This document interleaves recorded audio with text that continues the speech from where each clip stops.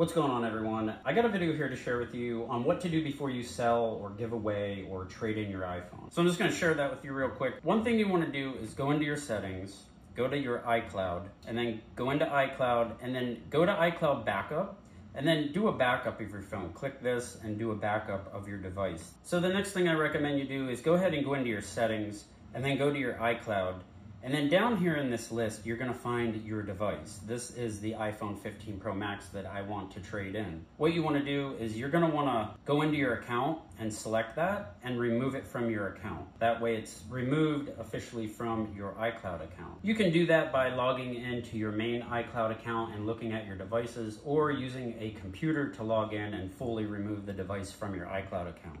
And then the last thing you really need to do is just factory reset the phone. So all you do is you go into your settings and go to general, scroll down to where it says transfer or reset iPhone. You wanna select that. And then this one at the bottom says erase all content and settings. Once you know you have everything off of here and you've either copied it over or backed your iPhone up or iPad, whatever device your Apple device here you're using, you wanna go ahead and click continue and go through the process of completely erasing the phone. One more thing I just wanna mention that you wanna do is remove or unpair your Apple Watch if you have an Apple Watch. Remove that as well before you do this. If you don't, that's okay too, but it's always good to do it. So then I'm just gonna go ahead and click continue. And basically you cannot undo this once you do it.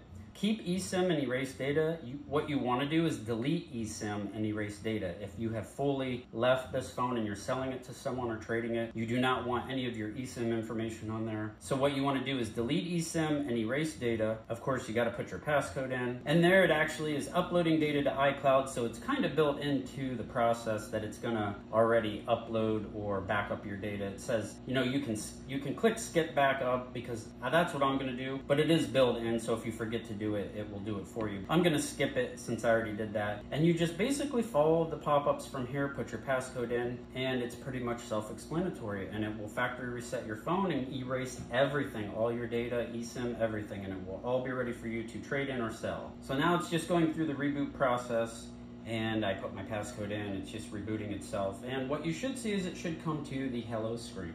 Now we're back at the hello screen and that's really all you need to do.